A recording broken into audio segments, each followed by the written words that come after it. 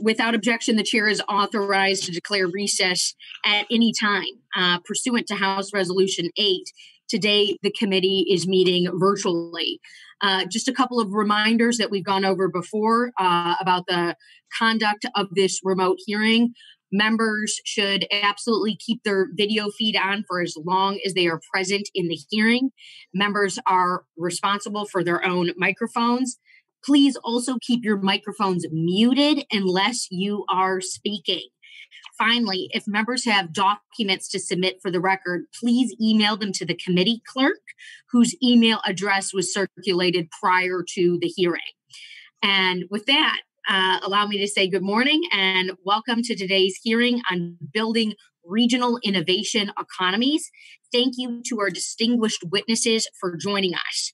Uh, in recent decades, economic growth has become increasingly concentrated uh, in a relatively small number of cities and regions. This has been tracked across uh, analysis from uh, leading experts uh, between 1980 and 2016, for instance.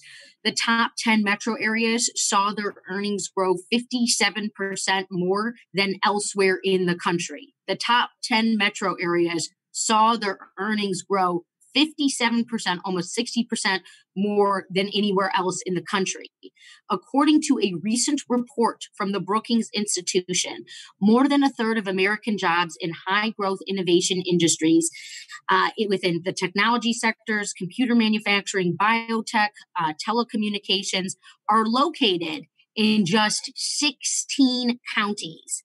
We certainly want to recognize and celebrate the success of American innovation hubs spanning this country and continue to support their role in advancing U.S. competitiveness while we drill down and identify opportunities to create economies of scale across the country, particularly in areas that have experienced decline or transformations of uh, the, the resources based on uh, trade challenges and uh, different dynamics that have led to decline. The United States needs to remain globally competitive. And as such, we must continue to address issues that are hindering geographic diversity and economic growth. And we must have intentionality in addressing some of the root causes of the increasing social and economic disparities in our country. The federal government has long been a partner in building regional innovation economies through many agencies with different missions many agencies across the federal government with different missions. Today, we will be focusing particularly on the role of the Economic Development Administration at the Department of Commerce. And in in full disclosure, I have worked at the Economic Development Administration from 2011 to 2012. Your chair has worked there. Um, I was pleased to see the, that President Biden shares a vision to support EDA's or mission.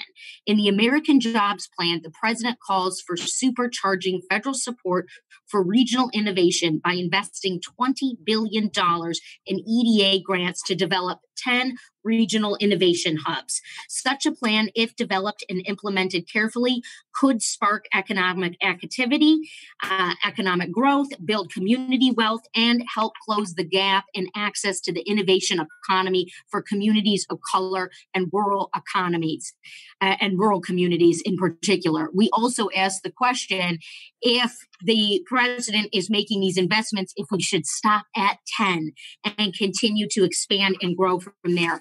We have an opportunity to be intentional about how we continue to grow and achieve shared purpose in the country in an age of rapid transformation.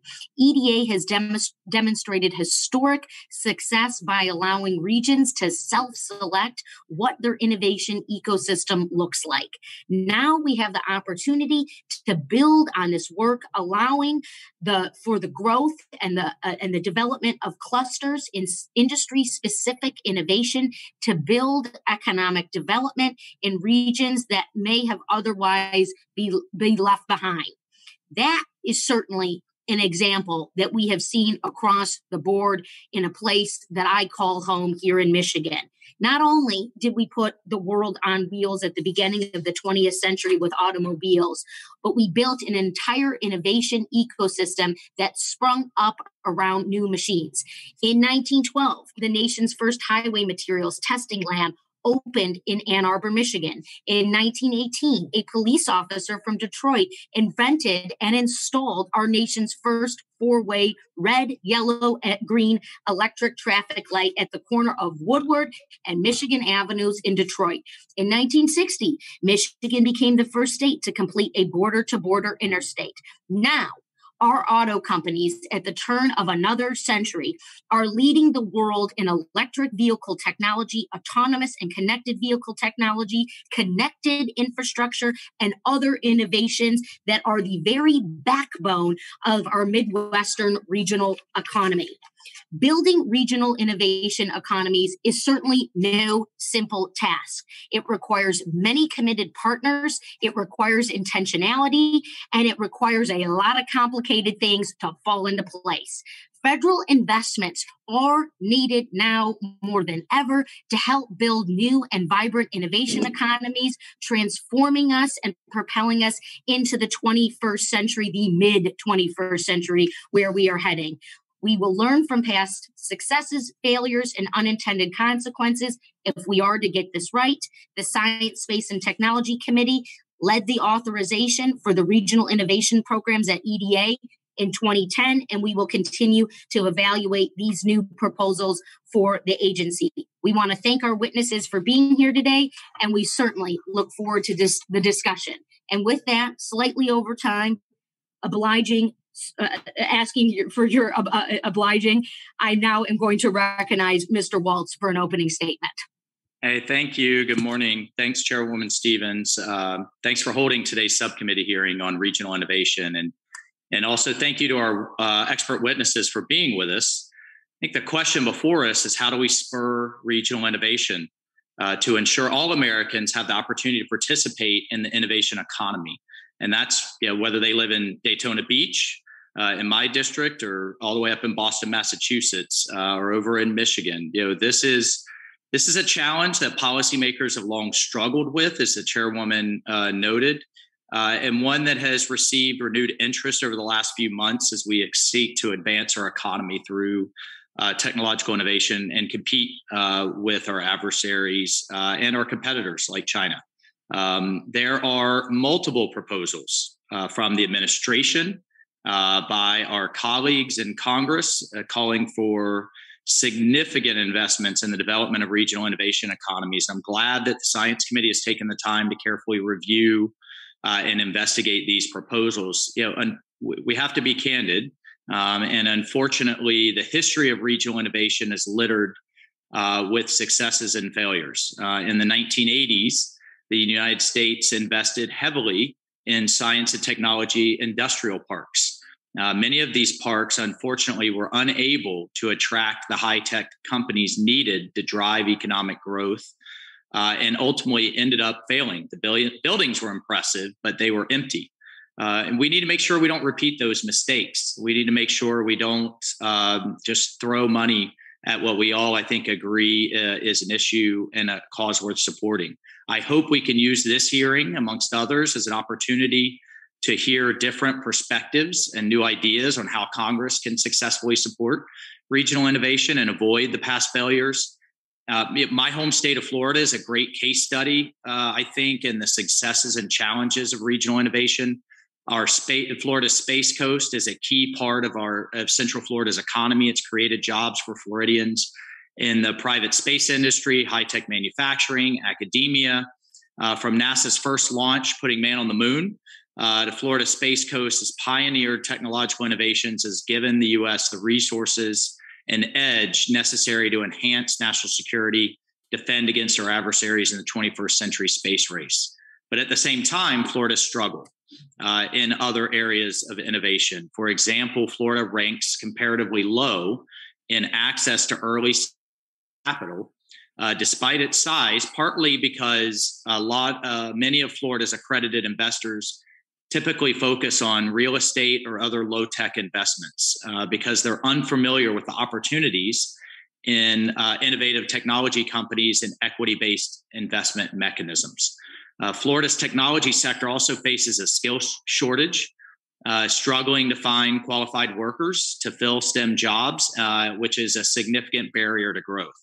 So, one of my goals is to ensure that these critical innovation jobs continue to grow, uh, remain an integral part of our economy, uh, uh, and we and we take a long term, decades long approach. Uh, to that end, I think we need to understand how to successfully bring together local, state, and federal government with industry, uh, with investors, with educational institutions at all levels within our community. I look forward to hearing ideas from our witnesses of how we can do that.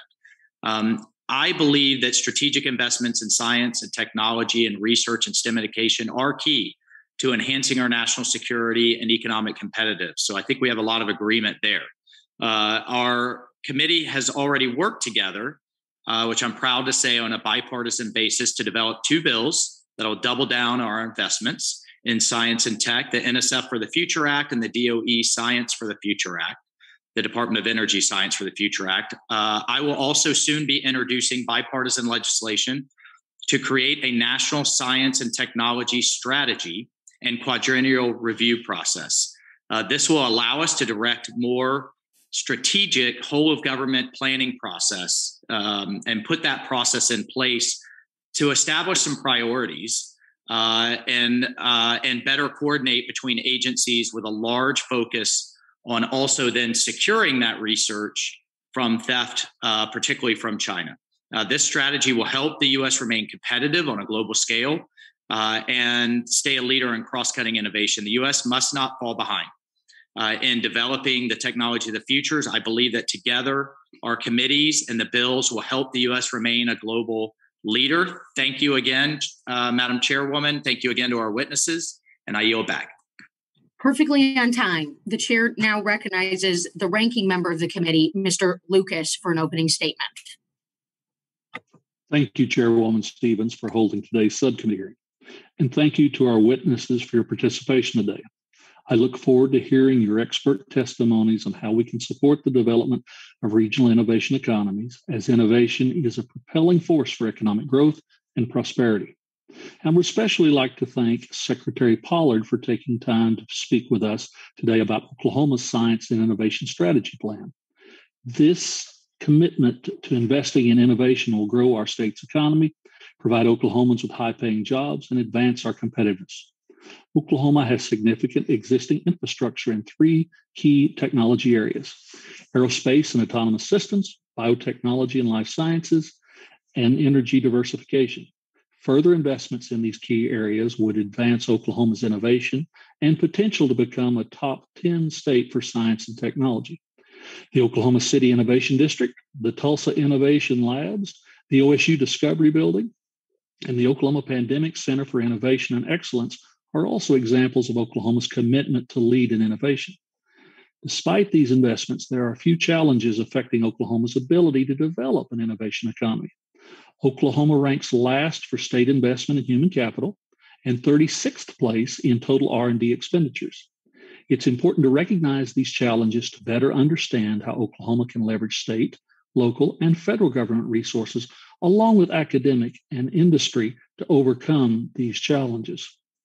While these challenges are specific to Oklahoma, the fact is every community has their own unique set of goals and challenges for developing their research industry infrastructure.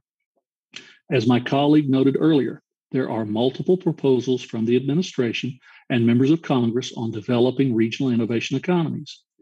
And I'm happy to see that this committee is using this hearing as an opportunity to explore these proposals, along with new ideas to foster regional innovation.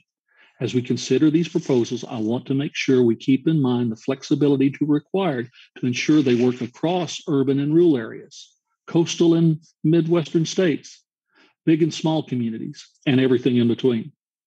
For instance, while current proposals consider regional diversity when issuing awards, more often than not, many rural communities, like those in my district, struggle to compete for funding since the matching requirements are beyond the resources available within these communities.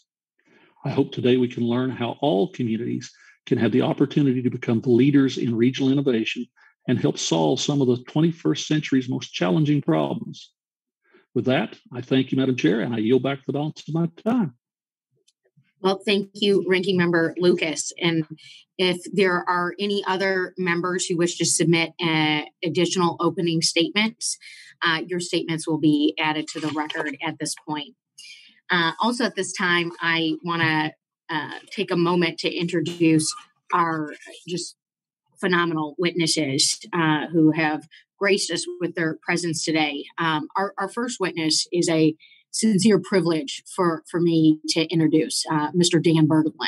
Uh, Mr. Berglund is the president and CEO of SSTI, a nonprofit organization that leads, supports, and strengthens efforts to improve state and regional economies through science, technology, and innovation. Uh, Mr. Berglund has held this position since SSTI was founded in 1996. Uh, and under his leadership, SSTI has developed a range of services focused on communication, education, information, data analysis, and research. Uh, prior to his position at SSTI, Mr. Berglund served as the director of Ohio's Thomas and Edison program and the Ohio Technology Transfer Organization, and as the assistant deputy director of the Ohio Department of Development's Division of Technological Innovation. But all of that's to say, if you are in the technology based economic development world, you are connected to SSTI and leveraging their resources, or you are very likely doing it wrong. Um, our next witness is uh, Dr. Uh, Erica Few. Uh, uh, uh, Dr. Few is a professor uh, in uh, the Department of Engineering and Public Policy at Carnegie Mellon, Mellon University and a research associate with the National Bureau of Economic Research. Her research focuses on the development, commercialization, and global manufacturing of emerging technologies and national policy in that context. Uh, Professor Fuchs is the leading Carnegie Mellon's uh, College of Engineering moonshot on national technology strategy in critical technologies, supply chain, and infrastructure.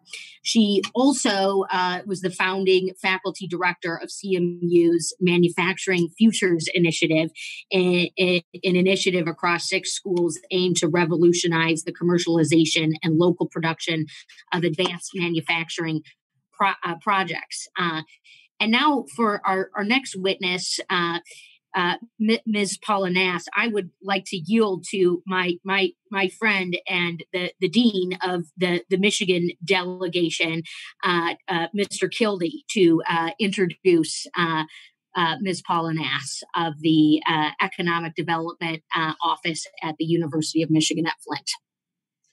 Well, first of all, thank you, Chairwoman Stevens and Ranking Member Waltz, for holding this hearing. And I'm sure I'm joined by uh, our chair, Chair Stevens, and my friend, Representative Peter Meijer, in welcoming a fellow Michigander to testify before us. Uh, it's my pleasure to welcome Paula Nas uh, to testify as a witness today. Uh, Paula is the director of the Office of Economic Development at the University of Michigan Flint, where I once, many decades ago, was a student.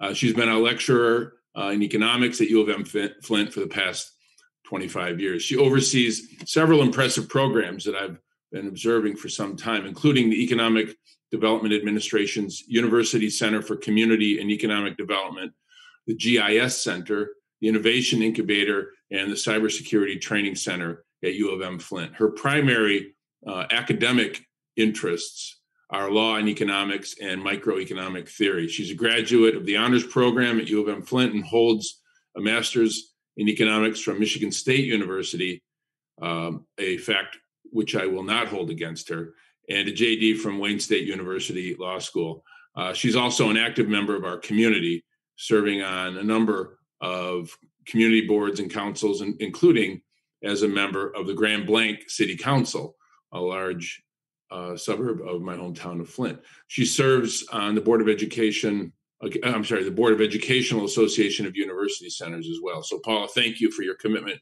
to the community, to economic development in our region, and for joining us to share your expertise today. With that, Madam Chair, I yield back. And, and with that, let it be known that three of the uh, 14 members of Congress from Michigan are on the Science, Space, and Technology Committee. Um, our final witness is the Honorable Elizabeth Hutt uh, Pollard, Secretary of Science and Innovation for the state of Oklahoma. Uh, Secretary Pollard was appointed to her position in June of 2020. In this role, she places a strategic emphasis on enabling science and innovation to impact health, commerce, and STEM education for Oklahoma. Prior to her appointment as Secretary, she served as Deputy Secretary of Science and Innovation. In addition to her cabinet role, Secretary Pollard is Executive Chair of Applied Silver, a materials science health tech company located in Silicon Valley, addressing infection control and antibiotic stewardship. As our witnesses should know, you will each have five minutes for your spoken testimony. Your written testimony will be included for the record for the hearing.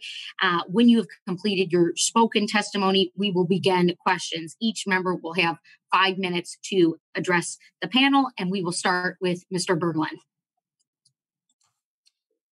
Good morning, Chairwoman Stevens, Ranking Member Waltz, and Ranking Member Lucas, and distinguished members of the subcommittee. My name is Dan Berglund, President and CEO of the State Science and Technology Institute. I'm honored to appear before you today to discuss a topic that I've dedicated 36 years of my professional life to. My testimony is grounded in my personal experience of seven years in creating, administering, and evaluating innovation programs in, in Ohio, and over the last 29 years, working with all 50 states to build innovation economies. For several decades, many states, as well as municipalities, philanthropic, and industry partners, have been investing in their regional innovation economies to create economic opportunities. As outlined in my written testimony, Georgia, St. Louis, and Pennsylvania, among others, um, are those that have been remarkably successful. We need to build on their examples and other successful efforts. Those efforts that are working share characteristics that can guide a responsible federal program. They first bring all actors together the private sector, institutions of higher education, economic development organizations, nonprofits, foundations to work collaboratively. Second, they develop an approach that's customized to the local strengths, needs, and cultures of the region. And third, they make long term, sustained commitments that are of a scale to make a difference and flexible enough to adapt to emerging opportunities. Data show we face significant economic problems. In 1970, the middle class made up 62% of US aggregate income, according to the Pew Research Center. By 2018, that had declined to just 43%. The percentage of population in the middle class shrunk in every state but Nebraska from 2000 to 2017.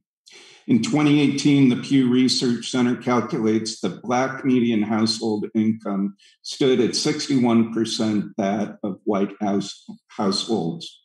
And Iowa State University economist David Swenson has estimated that between 2008 and 2017, 98.5% of non farm job growth occurred in metropolitan counties. Meanwhile, the Chinese are making major investments in science and technology. While we lead in basic research, that is not enough. As valuable as basic research is, many people have a mistaken belief that if we just fill the pipeline with basic research, it'll somehow magically make it into the marketplace throughout the US. It takes more than magic. It takes hard work and resources that right now are coming primarily from states and universities to identify the research with commercial potential, fund proof of concept, and actually get the technology to the private sector. We know this work can be done successfully because we're seeing it done at the local level. So, what do we need to do? Uh, there's 40 years of experience at the state and local level on approaches to build innovation economies. We need a national strategy and the funding to take those lessons and implement them in a sustained effort to bring this work to scale and in all areas of the country. We need bold, robust support from the federal government that offers flexible funding to states and organizations to build regional innovation economies and transform our national economy. Funding from the federal government that addresses the whole innovation system rather than individual elements of a system would be critical to building a regional innovation economy and different than any other federal program. The Regional Technology Hub's proposal of the Endless Frontier Act deserves serious consideration by this committee. The legislation accomplishes much of what I've described above with specific focus on entrepreneurship and business development, technology maturation, and workforce. The legislation, as it passed through the Senate Commerce Committee, could support dozens of hubs that are focused and large enough to have a meaningful impact on their regions. The results would be more areas and people benefiting from a technology economy and a stronger country. As outlined in my written testimony, there are specific items in Endless Frontier that should be addressed, including the makeup of eligible recipients, metrics, um, evaluation of the program, and where the program is located. In summary, we can no longer afford to follow an approach where regions are cobbling together support from states, private entities, and single purpose federal programs. Congress, which clearly recognizes the critical, critical threats facing the American economy, should guide a strategic, substantial investment in regional innovation economies.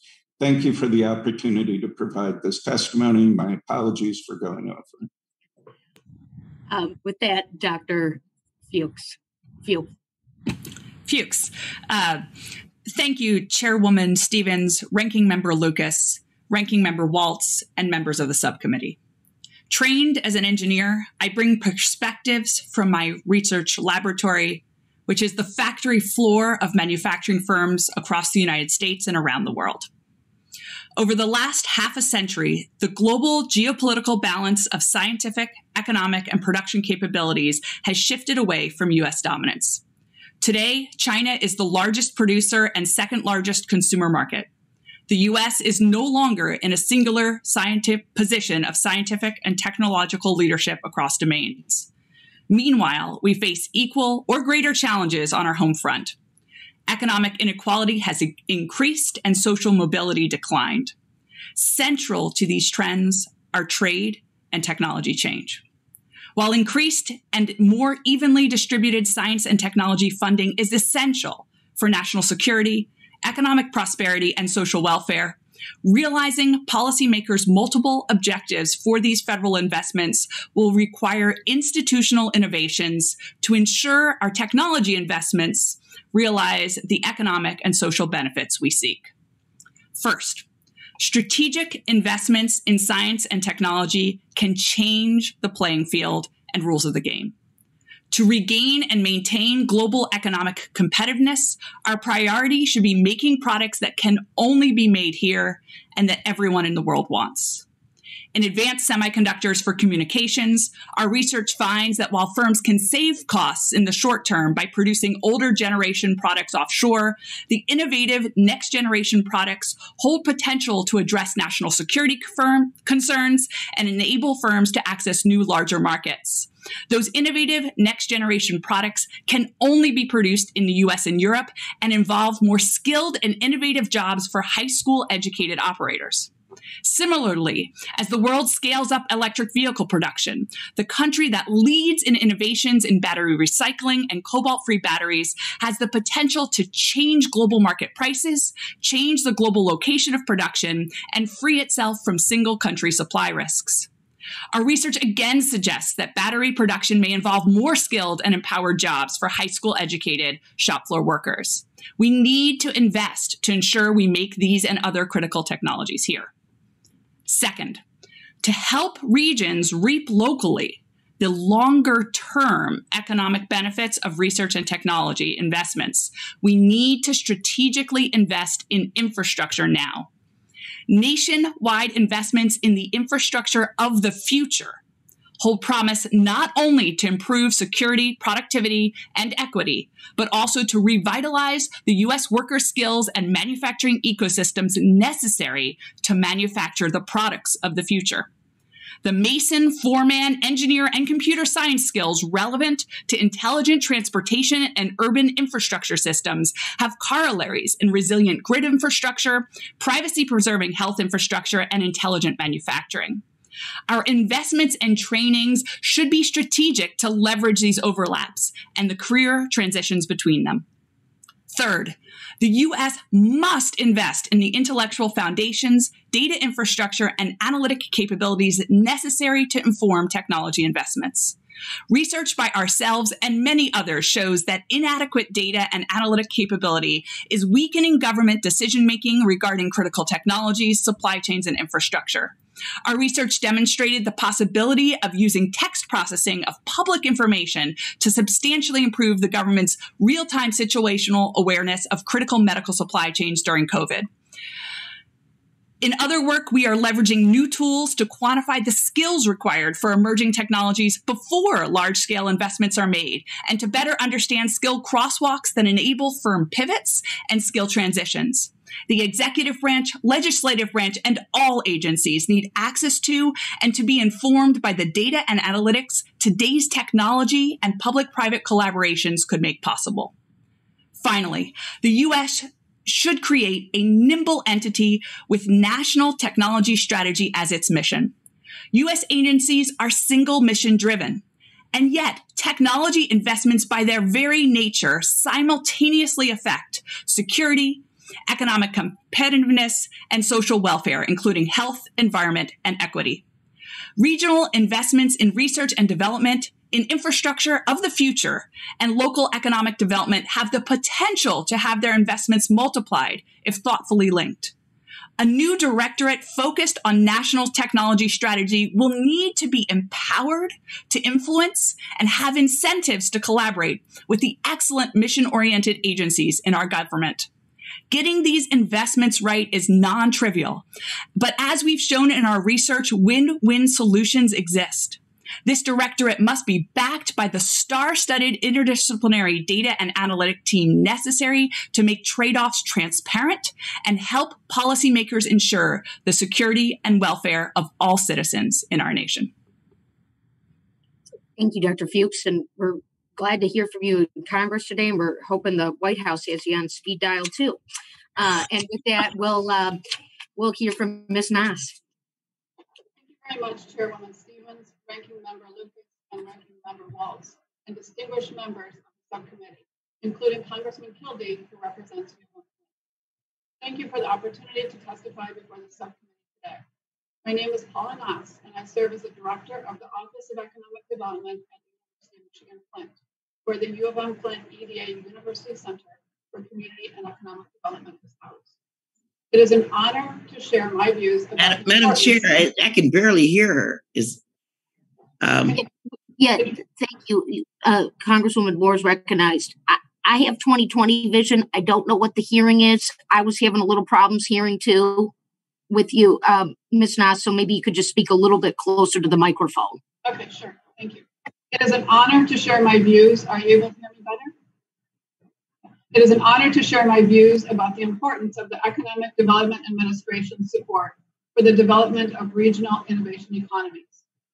The U of M Flint EDA University Center for Community and Economic Development coordinates, informs, and contributes to economic development efforts that cultivate innovation, support proof of concept development and commercialization, and provide employer identified workforce development programs needed to build and sustain a resilient, inclusive economy. Research on building effective innovation ecosystems points to the importance of interactions among key actors in a region. Typically, these include institutions of higher education, industry, government, funders, and economic development organizations, among others. There is also consensus on the need for other elements a research and development ecosystem access to capital, mentors, innovation labs, and training programs. These are all necessary conditions for creating an environment that spurs innovation and contributes to regional economic growth. What is often left out of this equation is a fundamental issue of how one enters this complex system and what those barriers to entry are. At the University of Michigan Flint, we think about how we, as key players in the innovation ecosystem, make a concerted effort to minimize or completely eliminate barriers to entry. And once an innovator has entered the ecosystem, we are mindful of how to best provide them with the tools and knowledge needed to navigate the system. The development of regional innovation economies can be an engine of economic growth. But if that growth is going to be sustainable, we must provide avenues of access to those who are, at risk of being left out, particularly innovators from underserved communities in both urban and rural areas. Much of the work of U of M Flint's EDA University Center is dedicated to solving these issues. Through U of M Flint EDA University Center, we've had the opportunity to serve as an entry point for a diverse group of regional entrepreneurs, delivering services to over 2,000 individuals over the past five years. One such individual is a community member named Linda, who was inspired by her deaf mother to create a technology to help deaf and hard of hearing communities. Linda launched an emerging technology company, Bell Tech Communications, which has developed English to ASL real time translation software and hardware that removes learning barriers by teaching ASL speakers English grammar and sentence structure in addition to the ASL equivalent translation. Beltech has been supported by our staff through ongoing one on one counseling, workshops, and resource connections, including personnel and funding opportunities. Linda is an excellent example of a local innovator who may not have entered the ecosystem without the support of our EDA University Center. in addition to minimizing barriers to entry in the ecosystem, our EDA University Center is working to build a strong foundation for a sustainable innovation economy by creating programs that foster the entrepreneurial and innovation mindset. We have developed a suite of offerings that introduce campus and community partners of all ages to entrepreneurship and innovation. Through programs on U of M Flint's campus, such as Faculty Innovation Fellows, an interdisciplinary innovation capstone course, and student innovation programs for our community partners. We introduced entrepreneurship at an early age. We created the Young Sharks and Junior Sharks curricula and pitch competitions for elementary and middle school students. And we are confident that today's efforts to create awareness of the importance of innovation will have long term benefits for the economy. As we collectively think about best practices for building strong and inclusive innovation economies, we need to keep in mind the perspective of our population and what people need in terms of support systems, what they need in terms of making sure that everybody has access to everything they need to move their innovations forward. Through programs like this, we know that we will be able to keep in mind that solutions are not one size fits all. We need to provide entry points into the ecosystem and supports to ensure that opportunities are shared broadly through widespread participation in both planning and implementing innovation initiatives.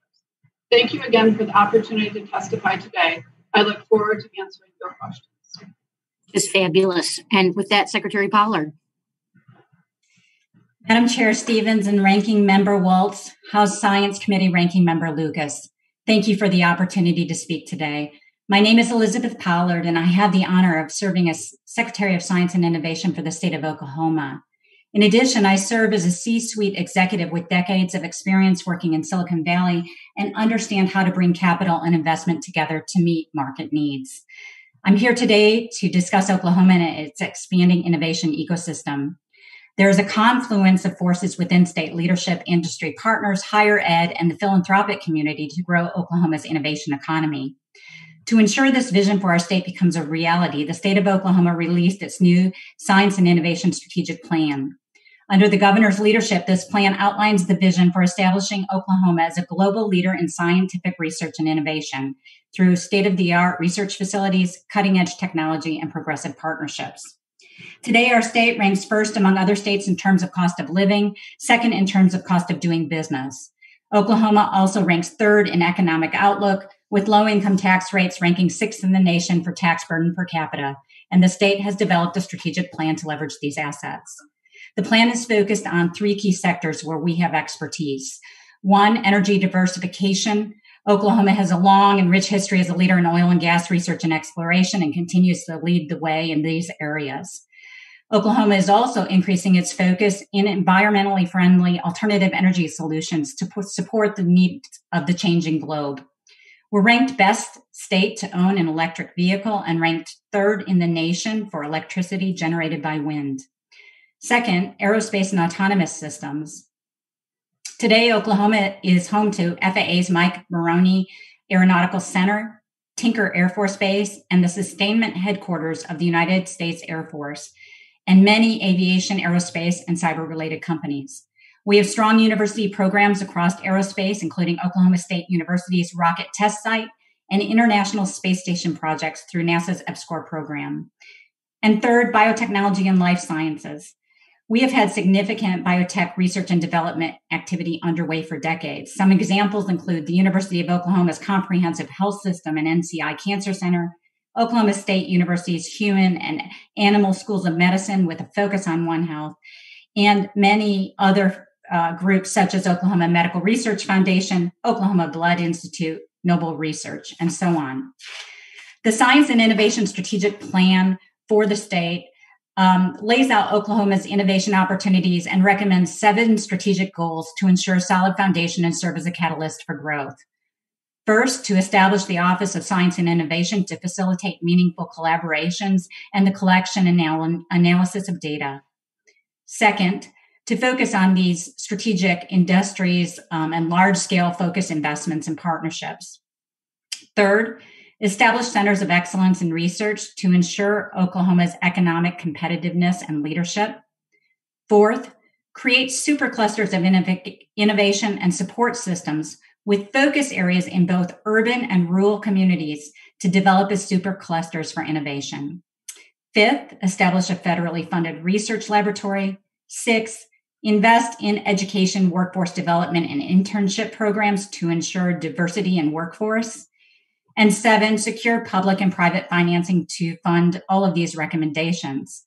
Today, the state funds entrepreneurs, researchers, and companies to help commercialize their technologies and grow their businesses through the Oklahoma Center for the Advancement of Science and Technology and I2E, a nationally recognized private not for profit corporation, and the Oklahoma Manufacturing Alliance.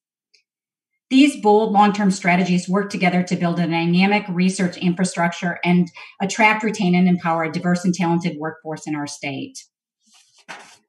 One specific case example is the recently established Oklahoma Pandemic Center, which was created in response to the COVID 19 pandemic, a first of its kind collaborative and immersive campus located in the heart of the U.S., bringing cutting edge science to the fields of human, animal, and environmental health. As a largely rural and agricultural state, Oklahoma is uniquely positioned to capture the benefits of animal science insights as a tool to improve human health and prevent the spread of disease to humans. Madam Chair Stevens, Ranking Member Waltz, House Science Committee Ranking Member Lucas, thank you again for the opportunity to speak today. Thank you for your efforts to explore ways federal agencies can support the development of innovation economies in states like Oklahoma. We urge you to consider funding timelines to better align with smaller states' needs, their legislative mm-hmm. cycles, and to invest in diverse states with rural, urban, and tribal representation, like Oklahoma.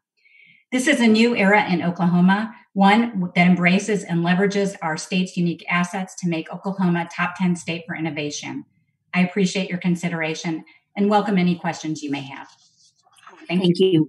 Thank you so much. And we, we know SSTI is very familiar with your I2E program and and a lot of your best practices. Um, so with that, um, after these phenomenal uh, testimonies, we're going to begin our, our first round of questions. Chair is going to recognize herself for uh, five minutes. And um, Mr. Berglund, I wanted to start with you. Um, in your um, written testimony, which I encourage my my committee uh, members to uh, review uh, in all 12 pages. Um, I I wanted to reference something that you touched on at the beginning of your written testimony with Dr. Annalee Saxon's um, Saxenian's uh, book Regional Advantage, where quote she said, you know, she described the origins, growth, and differentiators of Silicon Valley and Route 128 Silicon Valley and Route 128 were or, were not planned as technology hubs, but they did not happen by accident either. And so I, I, I wanted to draw down on that and something else that you said in your testimony, which is you talked about the need for flexible funding, and and I, I'm just wondering if if you could describe that nexus between flexibility at the federal level and the intentionality that comes from a region because we talk a lot about not being too top down and prescriptive.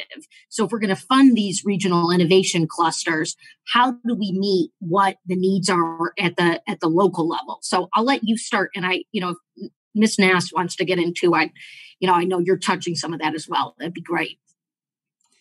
Uh, thank you, uh, Chairwoman Stevens, for the question.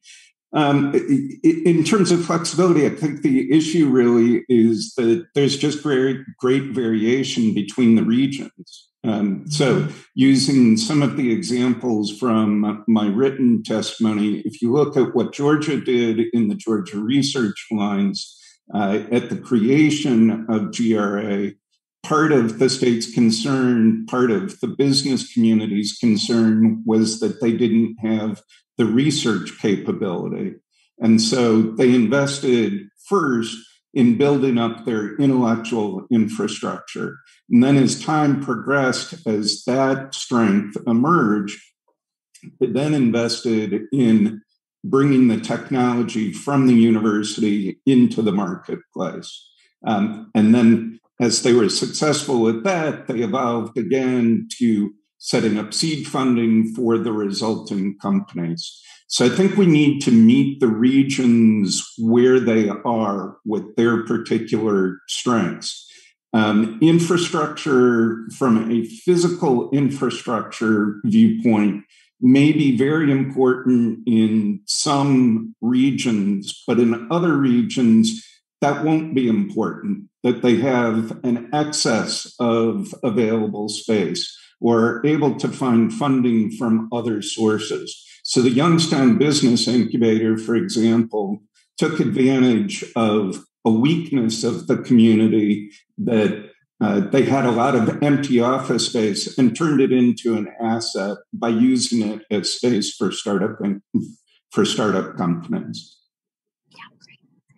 Ms. Nas, did you have anything you wanted to contribute to that? Uh, yes, Chairwoman Stevens, thank you. Um, following up from um, Mr. Berglund's statement um, about meeting people where they are, regions where they are, in the work we do, we're very intentional about meeting people where they are, meeting the innovators themselves where they are. So I mean that literally and figuratively. So that might be creating a business boot camp out in the community, in the community center. It might be us going into an art classroom to talk about entrepreneurship, or it might be our youth entrepreneurship program where we embed innovation and entrepreneurship into the elementary classroom. So really thinking intentionally about how we get to entrepreneurs and innovators that we normally wouldn't get to. Yeah and giving you the freedom to be able to do that, right? Without being so overly prescriptive about the program requirements. A, minute left, but with with Dr. Fuchs and and your testimony, particularly focusing on supply chain and uh, ma- manufacturing diversification and some of the weaknesses, I, I just wonder in terms of this it, it, and it's not going to do it justice in a minute left. So we might have to do it for the record or get more comments from you. But I'm just chewing on what you talked about with some of these uh, weaknesses in our supply chain and being uh, dependent on one country. Uh, and then also recognizing that there are some things in our supply chain that we don't even produce. So eh, let's circle back to that because I want to do that justice and we only got 14 seconds and I've been gabbing for a while and we got some really great committee members here who have questions. So I'm going to put a pin in that for you, but you know, this is just the, this is the start with a bunch of stakeholders in this innovation ecosystem world that uh, we're working on with EDA. And so with that, Waltz, Mr. Waltz, I'm going to turn to you for five minutes of questions. Yeah, thank you, Madam Chairwoman. And I'm not I'm not uh, 100% sure who's best uh, to answer this question. So, Ms. Pollard, I'll, I'll go to you. And and at, I'm relatively uh, new in the last couple of years to this committee and to this position. So I'm just kind of asking a level setting question. I'm trying to get my mind around what the EDA does uh, and its various innovation activities versus what the Small Business Administration um, has done and is doing historically, and where are those? And, and, and I can describe some of them, but I, I'm assuming that you're relatively familiar. Where are those duplicative? Where are they complementary? Um, just just trying to understand uh, that that dynamic. So, Ms. Ms. Pollard, I'll throw it over to you, uh, Mr. Berglund, if you want to chime in, or, or anyone else in that question. Thank you. I, I, really don't believe I'm the best person on the panel to answer that specific question, coming from the vantage point of wanting to drive um, a discussion about how to set up innovation within a state. But having said that, I'd like to have one of the other panel members respond accordingly, specifically around EDA and small business administration. Thank you. So I'd be happy to do that if that's all right. Um, sure. Number one. Um, so, broadly speaking, the Small Business Administration tends to focus on financing of individual companies. Um, they also play an important role through their small business development centers as serving as an entry point for any person that might be interested in starting a company. Um, but that can be a mom and pop type franchise. So, uh, a Subway store, for example, um, I think of them as the large part of a funnel um, in helping uh, potential entrepreneurs think about uh, uh, whether they should start a business. EDA uh, tends to focus on physical infrastructure because of its authorizing uh, uh, statute, the largest part of it. However, they also have a section that is the Regional Innovation Strategies Program, uh, which is now called the Build to Scale Program. These are smaller projects, um, about 750,000, a million dollars in size, that last for a shorter time period. Um, so, not a lot of time to go into the level of detail. I'd be happy to follow up with you or your staff um, in more detail, but I'll pause here so you have the opportunity to ask other questions or other panelists. Sure, and Dr. Fuchs, you had a you had a comment there. I was just going to add that uh, research on the Small Business Innovation uh, Research Program has, by Josh Lerner and others, has suggested that it is quite effective in the commercialization of emerging technologies, particularly um, in areas that have existing good venture capital. There may be room for growth in, in other areas, but it is important in that role. Um, it's interesting in its history. It actually originated out of something called RANN uh, historically, which was about research in areas of national need and commercializing them domestically, uh, coming back to some of our conversations today. It, it's a, thank you for that, Dr. Fuchs. If I just follow up, you said in your testimony, um, quote, increases uh, in science and technology funding alone will be insufficient to ensure U.S. technology competitiveness without a strategy for how to ensure that those investments realize our national objectives. Can you can you just flesh that out a bit more and the role of a national strategy for science and tech? Can uh, can play in promoting um, a, a, more even nas- nationwide distribution of uh, science and tech education funding commercialization? Yeah, thank you very much. Uh, so I think there's threefold there. Uh, one is that we need to we, we have limited resources in the end and we, we need to think about how to invest those resources. But at the same time, it can be confusing, as I write in my testimony, exactly how to do that well. So I'm not arguing for choosing technology winners, but rather than choosing the right goals, right? So in the semiconductor industry, which I've studied uh, extensively, uh, right now, in the next 10 years, we are going to have a problem of not having hardware to continue to advance uh, computational capabilities, not having the device. Uh, I would argue that funding the last uh, the commodity semiconductors of today may be far less important than changing the game and making sure we lead in the computational capabilities of the future that even our AI aspirations require. Uh, so getting that right is non-trivial, and there are strategic national security and economic prosperity set of objectives in that context. Uh, two is that when I speak of infrastructure and infrastructure of the future, I mean reinvigorating the country's infrastructure from broadband to electric grids to the, the entire uh, system that can serve as a platform for innovation, but also for developing the manufacturing skills we need for the future uh, and the firms that we need to manufacture. I was stunned when we've been studying uh, firms that pivoted under COVID 19, uh, that they, some of them come from being formerly garbage uh, distributors and then construction workers of buildings. And now they're like, wow, manufacturing is great. It's not smelly and it's inside. I love this job. Uh, so we need to figure out how to make those crosswalks in, but by doing the infrastructure of the future, we can build up our dilapidated manufacturing ecosystems to have that um, firm capability as well.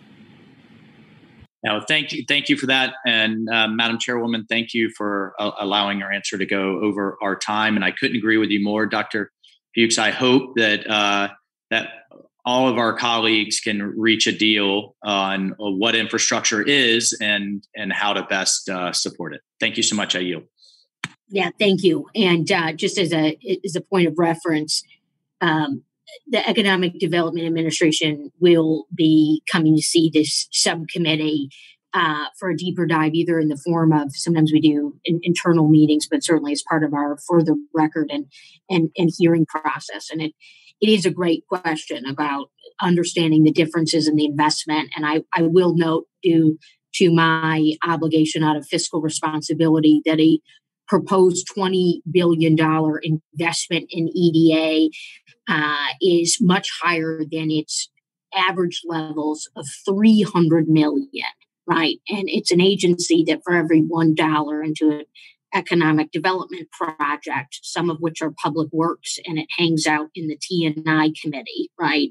We have oversight of their innovation pro- programs, but for every one dollar, it's seven jobs created or or retained. But it is absolutely worth us being, you know, the authorizing stewards of this agency to really analyze and and address the the suggested plus up in funding and what we can get out of that. Certainly with Route 128 in Silicon Valley, it remains immeasurable. Um, and and and with that, we're going to go to just a you know, a, an incredible member of this committee, um, Mr. Tonko from the nice state of New York. thank you, Chair Stevens. Can you hear me? Okay. Um, thank you for holding today's important hearing uh, focused on uh, economic uh, development and uh, further um, in, in involvement of regional um, um, innovation uh, strategies. NIST has two programs uh, that are focused on building manufacturing capabilities in regions across the United States Manufacturing USA and the Hollings Manufacturing Extension Partnership. Certainly, the network of 11 New York MEP uh, centers cultivate the growth of high tech industry and certainly help smaller manufacturers um, to modernize. Uh, these independent, not for profit organizations share a common commitment to providing direct strategic assistance to companies in the areas of entrepreneurship, technology commercialization, product development, high tech business incubator management, and technology transfer services. Um, New York State and the capital region of New York are strong examples of where these programs have helped facilitate the integration of innovation and technology throughout the region's economic development efforts. It is estimated that in fiscal year 2020, New York's MEP programs saw the creation or retention of over 5,000 jobs and over $214 million in new um, client investments. So, Mr. Berglund, um, what do you see as the role of the Manufacturing USA program and the Manufacturing Extension Partnership in regional innovation efforts? Uh, thank you, uh, Representative Tonko, for that question. Um, I think both of them are critical organizations or can be critical organizations. I have much more familiarity with Manufacturing Extension Partnership Program, which um, full disclosure, SSTI receives funding from MEP. Um, so a strong familiarity with the work that they're doing on the local level. Part of what we try to do is see where there are opportunities for the MEP centers to work with some of the entrepreneurship and technology commercialization activities that are occurring in a region. So, good example in Pittsburgh area of connecting uh, entrepreneurs working on hardware startups with uh, local manufacturers to help design the influence of that product so that it'll be manufactured here in the US rather than in China. And uh, uh do you see these MEP centers as necessary partners in building new regional innovation economies?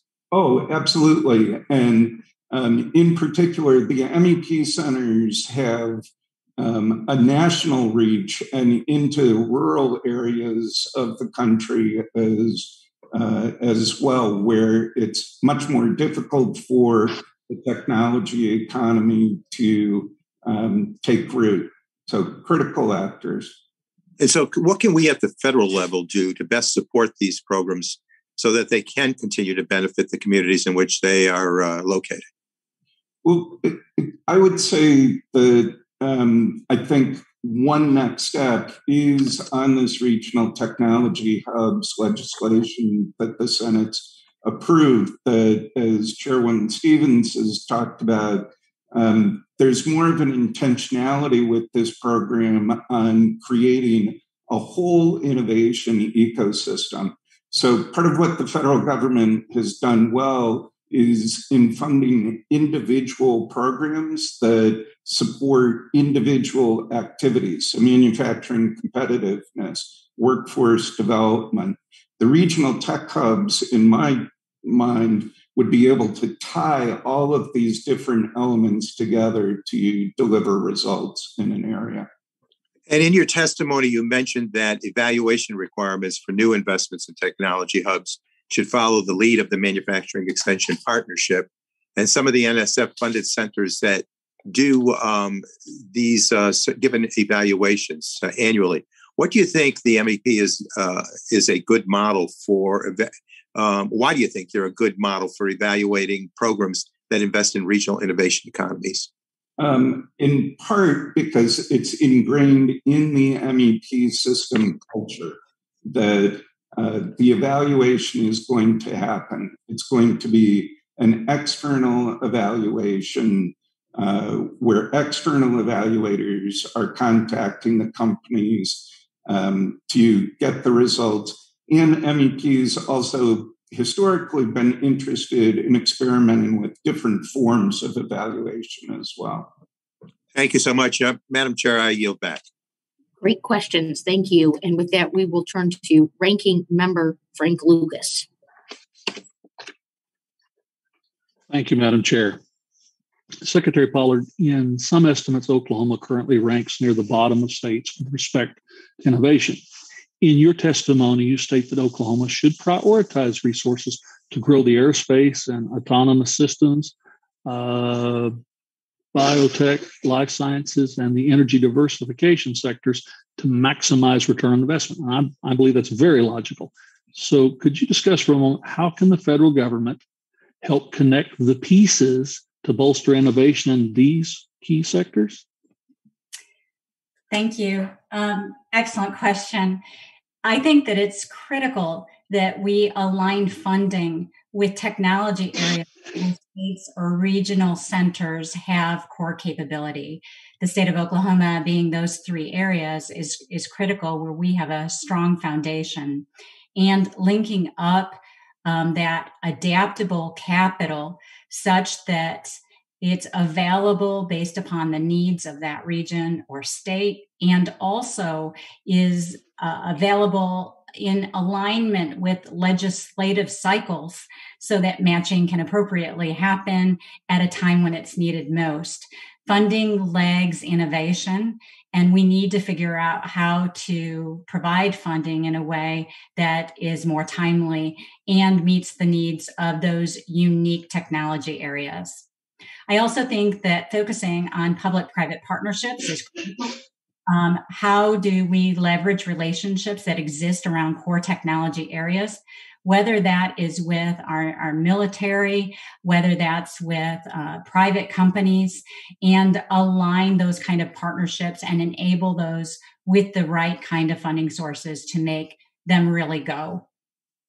I would also then just also add that thinking about this in regard to uh, rural and urban, as we begin to expand our urban um, centers out towards rural communities and create these technological centers, um, we begin to enable rural communities in a way that have not been in our past. And so, how do we begin to create technology clusters or hubs outside of urban centers that begin to grow our rural capability and footprint and improve how we are providing education opportunities to rural communities. Thank you. Continuing with you, Secretary, STEM occupations are some of the fastest growing and higher paying jobs compared to non STEM occupations. And innovation economies rely on steady and consistent flow of STEM workers to be successful, what can states do to attract the STEM workforce necessary to drive the economic growth? I think that our STEM programs and the programs through our higher ed and career tech need to actually be aligned with the state's strategies around technology development or the region's strategies around technology and development so that you have a diverse workforce ready and able to respond as economic development opportunities are presenting themselves. Um, one of the real opportunities is thinking about not just how do we create the best engineering program, but how do we also create engineering technician programs within career tech to provide um, support to workforce diversity within um, companies that are developing or moving in or out of um, a state or region. And I think if we can do a better job of aligning those programs with capabilities of that region or state, uh, we will have a much better output in regard to a workforce that's prepared and ready and able to support. One last quick thought. Uh, you know, Oklahoma has a large portion of the population residing in rural communities. How can we make sure that rural communities are not left behind and have the same opportunities to grow their local economies when it comes to these issues? Absolutely. I do believe it is creating technology pillars outside of urban centers and looking at um, states and regional areas that have the capability to exploit what they already have in an urban center out to those rural communities. I think that also expands to tribal communities as well, which are really important and sometimes overlooked. And I think uh, it's one of the reasons Oklahoma is a very unique area for this kind of expansion that we're going through right now and at this time. Um, so, you know, thinking about how you can leverage uh, setting up uh, clusters, technology hubs in those urban and rural communities so that they're linked together through partnership. Thank you, Secretary. Thank you, Madam Chair. Thank you. Great, thank you. And with that, the, the chair will recognize the gentleman from Illinois, Dr. Foster. Thank you. Audible and visible here? Yep, yep, you're great. Okay, great. All right. Well, first off, thank you for having this uh, really important hearing. You know, this is something that I've uh, personally struggled with for years. I, I guess I'm best known around here as being the the um, you know the PhD physicist in Congress, but I'm also a businessman who's actually accomplished pretty much exactly what we're what we're all struggling to uh, mass produce here. Uh, when I was 19, my little brother and I started this company in our basement with 500 bucks from my parents, and it now manufactures about 70% of the theater lighting equipment. Our company was born at the, the birth of the microprocessor era. Know, we had the bright idea of using that to control theater lights. And so our, our company now, um, you know, employs about 1,500 people and uh, manufactures in suburban Madison, Wisconsin. And the location of our company um, is an interesting uh, well, it's, it's something that we've been thinking about since its very birth. Um, it was born, our company was born because of the University of Wisconsin. where a lot of the intellectual property came from. And my brother and I got heavily subsidized educations uh, from the state of Wisconsin that they've that they've collected on many times. Um, but a lot of the touch labor uh, for our manufacturing uh, comes from the nearby rural areas. And uh, and so, for example, our, one of our biggest uh, assembly factories is in Mazomanie, Wisconsin, which I would bet I'm the only person who's heard of, um, but is a very uh, very nearby rural town. Uh, and so it, it, strikes me as we've we've th- thought of where to locate things that the natural scale of this is commuting distance. Uh, you know, our, our most of our R and D uh, happens in a near suburb of Madison, where you can really get recent graduates. Because we've you know prospered with a chain of, of recent graduates who um, you know they had a they had a spouse who was had a high tech job and had to stay in Madison or near Madison. Um, and then the when you're talking about um, you know the touch labor, you know the good middle class jobs that everyone loves so much, those uh, you know those happen and work best for people who can live in low cost areas with low cost housing and so on in nearby rural areas. But that's a very limited thing. When we think of the possibility of relocating our company to northern Wisconsin, where you're many commuting distances away, it just stops working. When we we think of you know it won't it won't work because of you know all the reasons I just went through. So how do you um how do you think about what's realistically uh, possible physically uh, in terms of how how geographically dispersed we can really accomplish this when we're trying to combine um, you know a range of, of skills in this um, or, or what's the history of, of trying this um, yeah mr berglund i thought you look like you have the battle scars from uh, you know a generation of, of efforts at this and where you know what this really works and you know what should we be hoping for? What does success look like?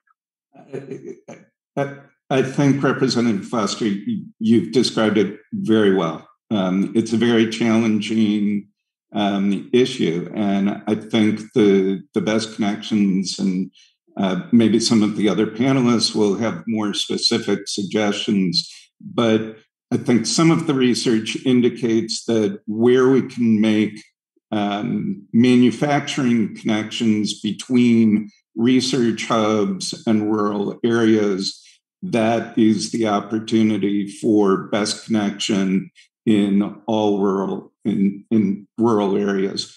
Uh, manufacturing just plays such an important part in rural counties um, that being able to uh, strengthen those rural manufacturers is critically important.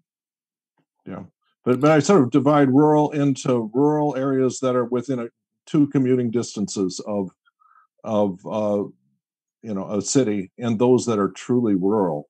Um, you know I, I, represented for for years uh, extremely rural areas and it was you know it just tough sledding trying to get uh, companies with with tech needs to move into those extremely rural areas. Uh, if i could um, this, dr fuchs um, I would just say there are good examples of small companies in the Upper Peninsula of Michigan, in the central part of Pennsylvania, that maybe are $20 million in sales, which doesn't sound significant to people on the coast, but in terms of employment, is a significant employer uh, in that region. So it's also keeping in mind what size company actually makes a difference in a region. And Madam Chair, could I ask for 30 seconds for uh, Ms. Fuchs to um, say what she so had moved. intended to? Yeah, so moved. Uh, this is one of the reasons I believe we need to use procurement. We need to build to build and procurement of futuristic infrastructure. If we did that in all rural areas, I believe that we start to create the jobs to rebuild skills. Um, and, and, I'm happy to talk about. I've been studying uh, the offshoring of manufacturing for the majority of my career in shop floors, first here and then overseas, and um, delighted to talk about that further. But I've I've become come to believe that's essential. Thank you. Yield back. Great. And with that, Dr. Baird is recognized for five minutes of questioning from the very nice state of Indiana. Thank you, Chairwoman Stevens. Appreciate that. And uh, Ranking Member Waltz, I really appreciate the opportunity to, to be a part of this important hearing. And I appreciate the witnesses all being here. Um, and I appreciate the emphasis that many of our witnesses have expressed about uh, uh, the rural areas and how significant their growth and development is because I come and represent a large rural area in west central Indiana. So I appreciate uh, those comments.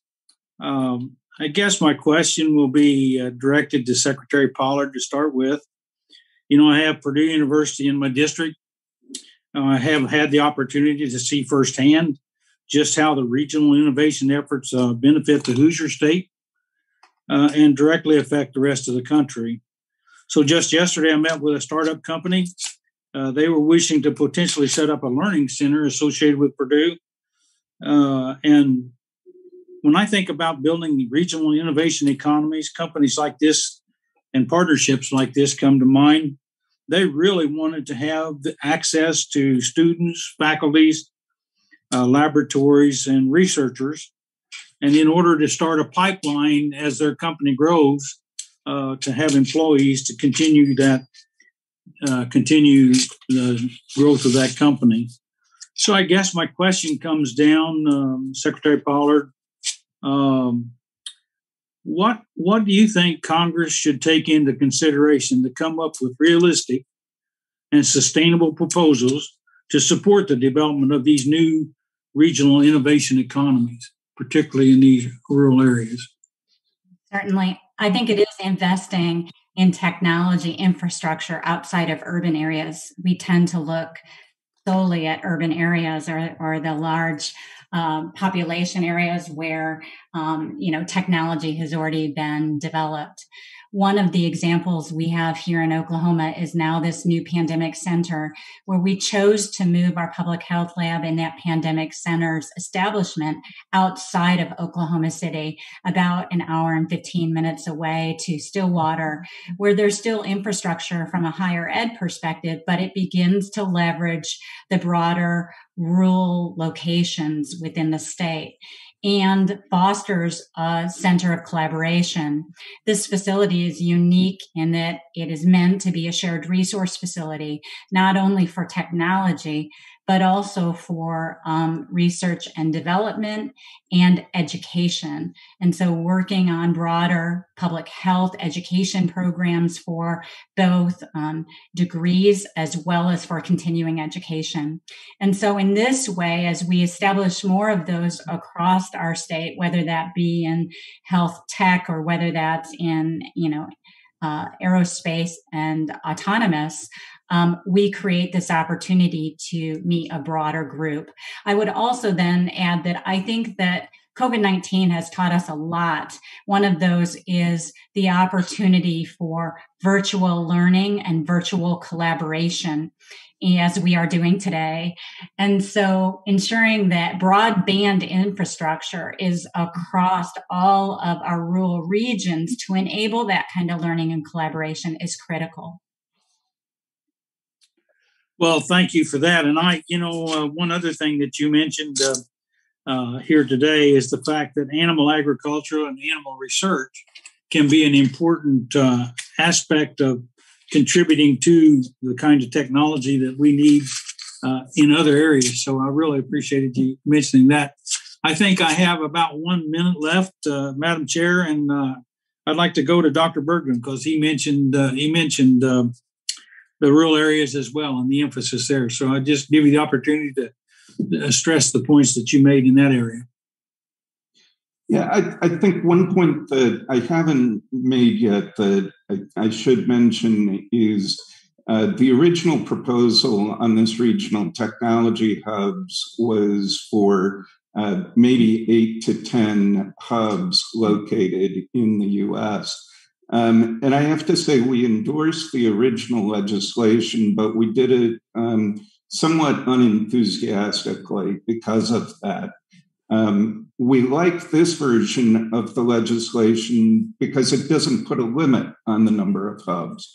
So rural areas should be able to benefit from it. Smaller metro areas should be able to benefit from it as long as they're focused on the activity areas outlined in the legislation. Thank you. Uh, and uh, I apologize for not being able to get to the other two witnesses, but Madam Chair, I yield back. Yeah, well, this is absolutely one of the instances where five minutes for questions with this fabulous group just does not seem like enough. And with that, um, allow me to recognize Congresswoman uh, Ross from the wonderful state of North Carolina for five minutes of questioning. Uh, thank you very much, Madam Chair. And uh, I agree. I have seven questions, and somehow I don't think we're going to get to all of them. Um, but thank you. Um, and thank you to the ranking member for holding this a very important um, hearing today. I represent a district that includes much of the Research Triangle Park in North Carolina, uh, the largest research park in the United States, and a premier global innovation center, but it wasn't always that way. Um, the Triangle now is an ecosystem of hundreds of companies, government agencies, academic institutions, startups, and nonprofits that work in concert to attract talent, bolster the local economy, provide research, and lead on clean energy. Um, last week, I held a roundtable in my district on regional innovation and the beginning of the park when um, really the people from our institutions of higher education were going to other states. And so it was created to avoid the brain drain um, from our institutions of higher education, including our HBCUs, because we have a very strong HBCU network. And as a matter of fact, the former mayor of Durham, who came back to North Carolina entirely because IBM was in RTP, talked about how um, our African American scholars left the South in the 50s and 60s. And it was only things like the Research Triangle Park that brought them back. Um, it, the success is due to the combination, though, of the university's local government just giving land, unused land, setting up the infrastructure for that. And then, of course, our business community. Um, and one of the things they pointed out is that in order to succeed in the future, there were two things they emphasized. Um, and one was from the, a former mayor of Raleigh that people no longer want to drive to a big office park where there's not even anywhere to have lunch um, and they what they want is a live work play environment. It does not have to be in the center city but the center city will um, will draw the people because it has the stuff there. So now research triangle is reinventing itself by adding housing places to eat places to exercise. So that was one thing. The second thing is having that talent pipeline that comes from our people starting K through 12. So not just the universities, but having kids get kids interested in things like robotics and particularly um, reaching out to um, communities of color and women to create that pipeline. Those were the two big things that were identified. And um, we know it's a success now, um, but it wasn't initially a success. So I'd like any of the folks to respond to this. Um, we would love for people to learn from what happened in the Research Triangle Park, but make no mistake, we're still ne- needing to reinvent ourselves and attract that indigenous pipeline of talent. So, any of you to respond to this and how it can help others?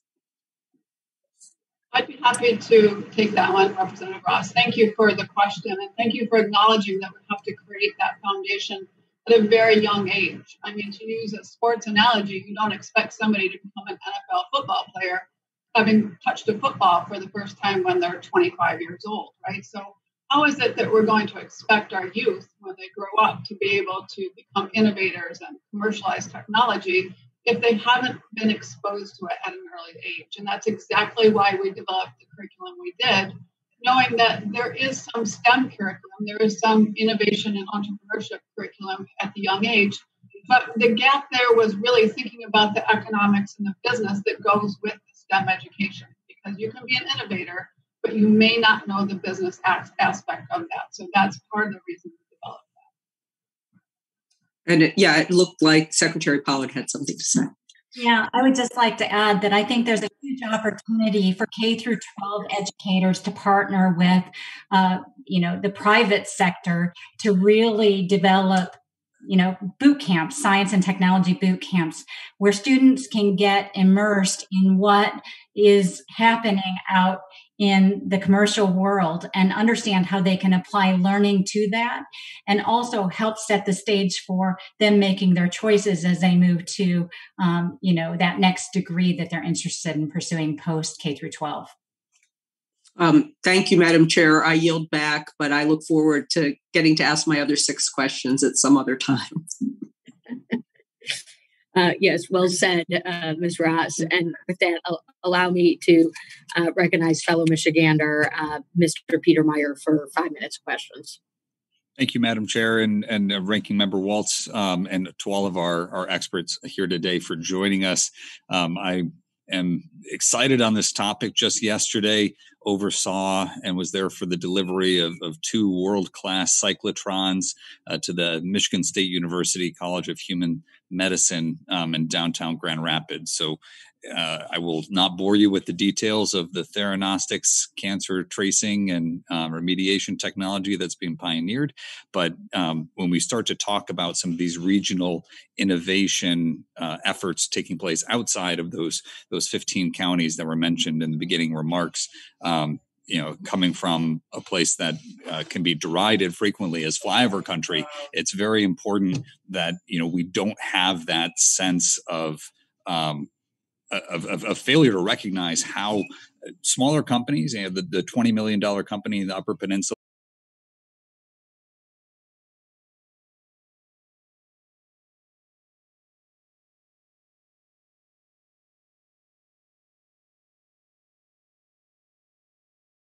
we from from an EDA standpoint or from a, a, federal government standpoint continue to support and create that culture of encouraging innovation um, just from those earliest years on and from all corners of the community as well. Thank you, Representative Meijer. I, I applaud what you're doing in your district as well. You have a lot of um, really creative innovation programs in your district. It's a good point. I think we need more support at the K 12 level to provide curriculum, to provide opportunities for K 12 educators, particularly in elementary schools, to create curriculum, to implement curriculum during their school day that allows students to learn the innovation mindset, to establish that foundation at a very, very young age. Similar to learning a foreign language, let's start early. Let's do the same thing with innovation. And I would say economics as well, and entrepreneurship. Because again, with those skills, the, the kids learn about critical decision making. They learn to think as um, entrepreneurs and business people. They learn how to build teams. They learn how to pivot if their, if their business idea doesn't work. Those are skills that will carry with them throughout their entire life, even if they don't wind up starting a business or inventing something. So I think teachers need that. We developed our curriculum so that it would correspond with what teachers already need to teach during the school day because we realize that teachers are already overburdened with all of the content they have to teach. So we integrated very carefully state of Michigan content standards within that young sharks and junior sharks curriculum. We need to do that. We need to bridge that gap between STEM education and then that business economics entrepreneurship part of it. We need to put those two together and encourage teachers and, and you touched on half of what was going to be my follow-up question, but just the other half. I mean, how do you, um, how do you, what are the best practices to leverage, you know, the involvement of the private sector in that as well, you know, as one of those likely career path opportunities? So one thing we like to do is we like to bring entrepreneurs, business owners, um, industry right into the classroom, whether that's our K-12 students or if it's our students on campus here or with our business boot camp that we do out in the community we always try to have a local innovator serve as a mentor to whatever age group we're working with. I think it's key for people to be able to see people doing that work that they could be doing in the future or that they're already doing. So if you can see somebody like you doing it, you know that you can do it. Yeah. And the mentorship aspect is is critically important, and I appreciate that. And with that, Madam Chair, I yield back. Thank you. Fabulous. Um, with that, I, I, want to recognize a uh, member of the committee for five minutes questions who I brag about being on this committee, uh, and that is Ms. Gwen Moore from the other Great Lakes state of Wisconsin. Well, thank you so much, Madam Chair and Ranking Member. And I just, uh, and other members of the committee who have asked such excellent questions. It's been really a treat um, here this morning. I'm going to try to get in as many questions as I can. Um, and Mr. Berglund, you mentioned in your written testimony that the Water Council uh, in Milwaukee, Wisconsin, was an example of these uh, research technology regional hubs. And, and I would like you to lean into, uh, you know, and, and these are huge corporations that have formed this, but talk about the importance of the involvement of the EDA, uh, the uh, involvement uh, and, and, you know bursting the myth somehow that the private sector can just do this on its own without government support.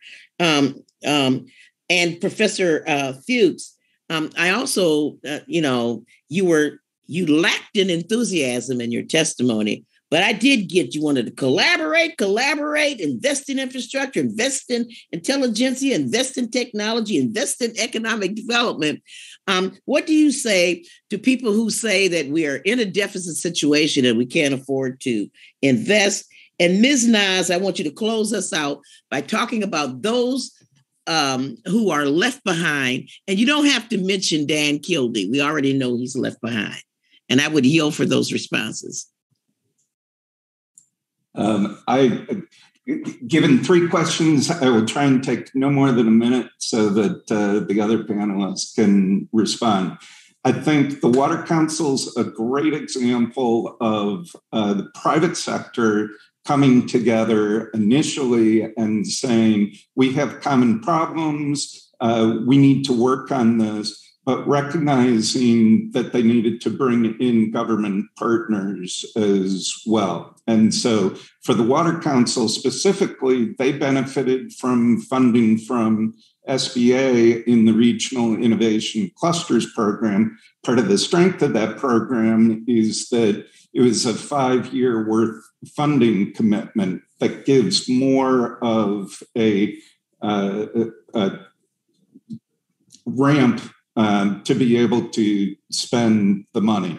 Um, one of the disadvantages of current EDA projects is they tend to be shorter term projects and so can't have the sustained uh, impact. With that, I will yield to the other panelists. Um, if we don't invest, we're not going to have the revenues to get out of the deficit. That would be my answer. Very, very short. And then I'm going to give um, two short examples. Uh, the one is uh, in advanced semiconductors. Uh, our research looked at beyond CMOS, so the ability to continue computing. That led to 50% of growth in the United States and worldwide in the 1990s, uh, the Moore's Law. Um, we are spending an order of magnitude less today on solving that problem, which is a sort of basic physics level challenge that needs to make its way rapidly to commercialization um, than we were spending on one to three year equipment upgrading under SEMATECH. So we're like not spending the right orders of magnitude. And that wasn't, we had access to the archives. That was an industry internal dialogue. um, but uh, the second is on infrastructure. Our infrastructure is getting a grade of D, uh, right? Um, so when I travel just now through, um, through Pennsylvania up north, uh, there are houses there that don't have broadband. There are houses. I mean, we, our electric grid is, is not at its latest. Um, it's it's not ready for our, our, infrastructure is not ready for climate disaster. We have a road that's lower than the river here in in, in Pittsburgh. Uh, we we need to invest uh, to have the platform and the worker skills to innovate off of.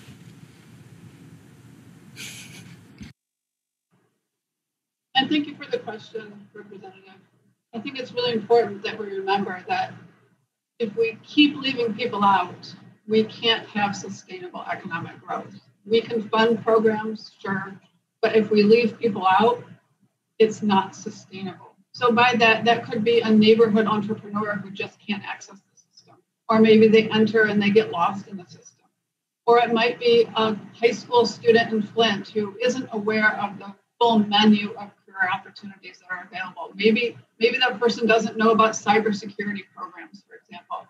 And if we don't continue to train and to provide opportunities, then there's no way that we can achieve the economic progress that we're all hoping to attain.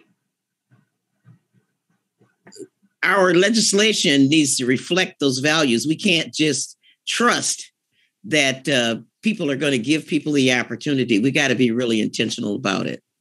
Yes, I agree with you on that. And it's difficult and, and, and it takes time. Many of you have mentioned it today that, you know, first of all, it's not one size fits all. We need the very large investments, and then sometimes we need some of the smaller investments.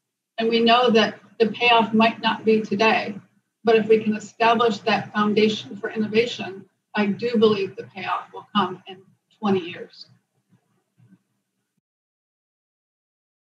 Thank you, and I yield back, Madam Chair. Great. Um, we're we're through with questions. Um, I, would be open to doing another round if anybody on the other side of the aisle wants to do it, or we can close, um, and and just you know maybe uh you know kind of wrap it up in conversation. You know, we were supposed to go to noon, so we've got about twenty two minutes left. But I don't know if Rep Baird or Rep Meijer would want to do another. You're good, Dr. Baird. Are you okay with questions? I uh, I'm okay. Okay, good. Oh, great. Well, and we've made a bunch of new friends, which is which is wonderful. So, uh, and and and you know, this is just the start of our process in the House, and we want to thank uh, Mr. Berglund for bringing up what's uh, cooked out of the Endless Frontiers Act in this regard, because you know, for maybe the first time ever, the Senate's um, you know taking the lead and doing the work on this. And that's you know nice to see. We've been at this for years and uh, we'll see what they kick over to us. And uh, this hearing is going to be very, very instrumental, uh, not only in terms of how we think through uh, addressing and answering uh, some of these uh, incredible challenges that we are, are, facing as, as a nation, responding to a, a chip shortage, uh, turbulence coming out of the COVID 19 pandemic and our supply chain writ large, but also how we continue to harness the capabilities of American innovation across the board, not overlooking any region or any population, uh, but harnessing the talent writ large. And and then also determining from our federal perch, uh, making the recommendation as authorizers what we uh, uh, what we what we should invest as as a as a nation uh, into these innovation ecosystems. Uh, it came up uh, certainly in Dr. Fuchs's um, statement about the competition that we are in with China. Mr. Berglund also touched on this. It's been a sincere privilege to have an area that is incredibly diversified, that has uh, overcome some of the uh, you know effects of deindustrialization while also remaining committed to industrialization with Ms. Nas being here from uh, Flint. And then certainly um, very profound to hear from Secretary Pollard, who uh, from her perch in Oklahoma is is connected to Silicon Valley and playing the game with Silicon Valley while she continues to harness the full capabilities of a state with incredible assets like uh, Oklahoma. And and so what we're going to do is we're going to have the the record remain open for for two weeks for additional statements from members. And I I really encourage the members to include these these statements and uh, ask additional questions because we're going to go back to this record. I know as chair, I go back to the record, particularly when we're stitching up in amendments and, and passage of, of bills uh, through our subcommittee into the to the full committee. And you know, we're continuing to encourage the the public engagement with what we are doing in this committee because certainly it, it feels as though we are so polarized and stuck uh, is, is, is a federal lawmaking body, uh, that all folks need to do is look at what we are accomplishing and achieving and deliberating on here on the Science Committee. Uh, as we have great representation throughout this country and certainly uh, the, the Great Lakes region uh, as we answer these questions and make the proposals of the day about how America will continue to innovate. Uh, certainly, that has been a part of our 21st century plight, and it has been one whopper of a start to this century with 9 11, a great recession, and and this pandemic. But coming out of all of these things, our plight of innovation has not only doubled down through you know the principles of Moore's law, but has continued to transform the global economy. So we are dedicated and committed to continuing to ensure the success of regions across this country. We thank you all for, for being here. I'm going to excuse the witnesses. I'm going to gavel us out. The hearing is now adjourned. Thank you all so much.